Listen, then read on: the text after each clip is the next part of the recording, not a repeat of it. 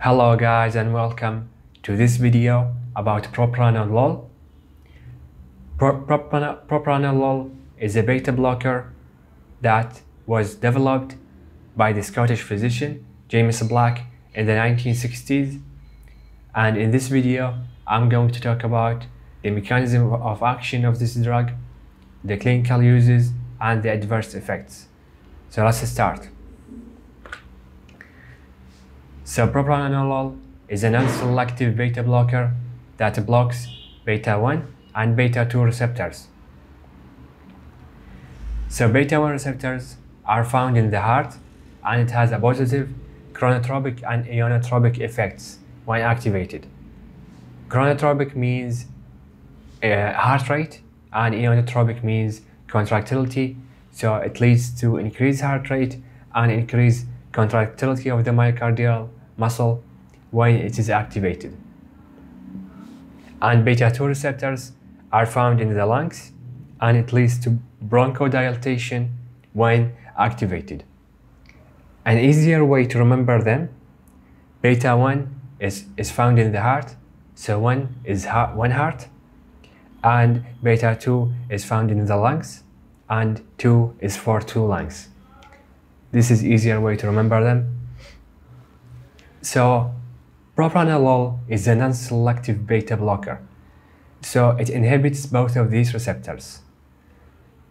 So it inhibits beta-1 receptor and that lead to uh, decreased contractility and decreased heart rate.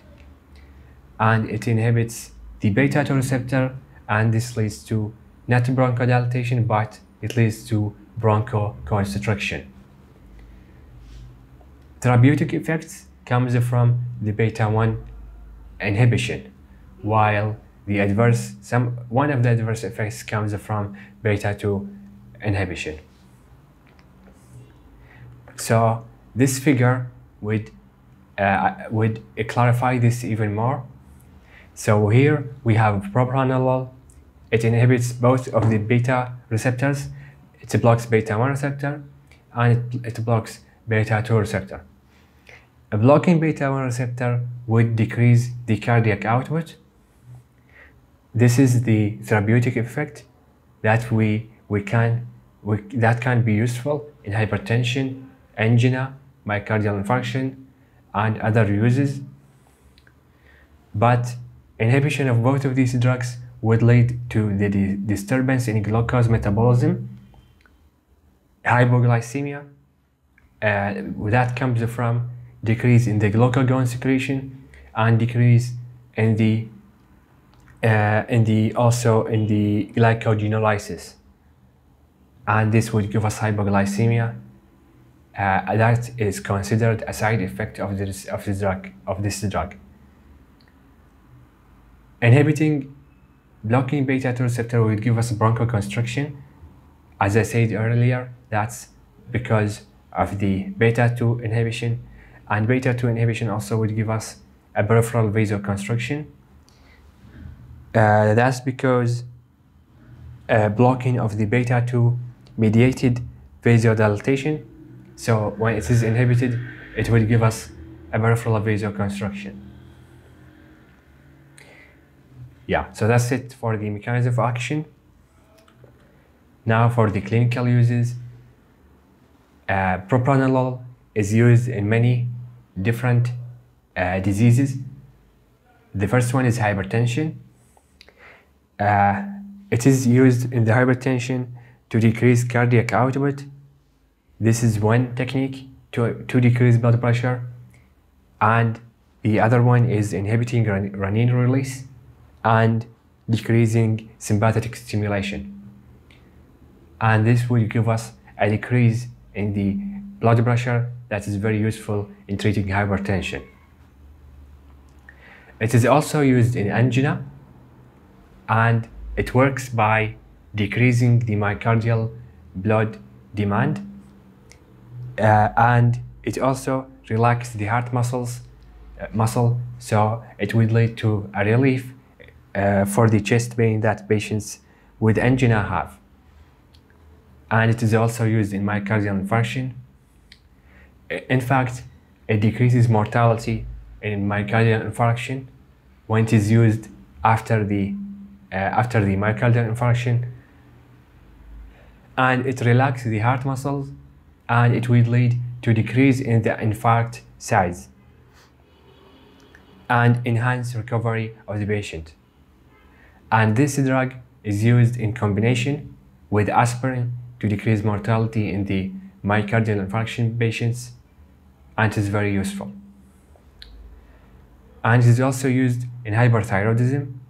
It decreases the sympathetic stimulation caused by this condition and it also uh, protective against cardiac arrhythmias that comes with the hyperthyroidism. It is used in migraines and that's because it is a lipophilic, uh, it has a lipophilic nature, so it would be able to cross the blood-brain barrier and it is effective in reducing migraines. And finally, it is used for anxiety. It decreases the physical symptoms of the anxiety and that would be a, a useful option uh, for an anxiety for patients who have anxiety. So now for the adverse effects of this drug.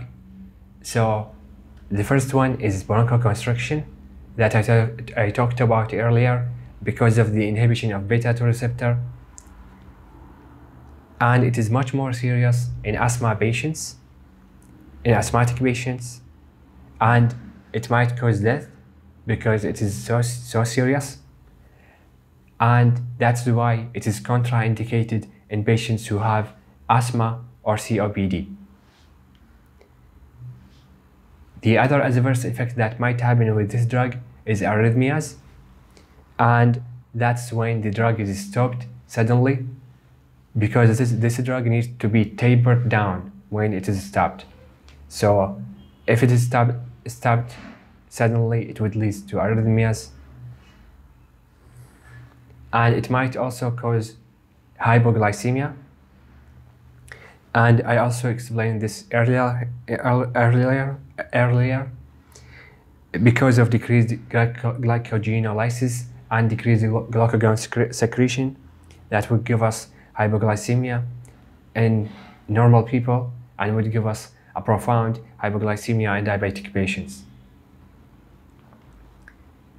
Now finally, we have the CNS related problems, the central nervous system related problems, we have depression, lethargy, fatigue, weakness, hallucinations, and other CNS problems that might happen with this drug. And that's it for this video guys. Please like this video and subscribe for the channel.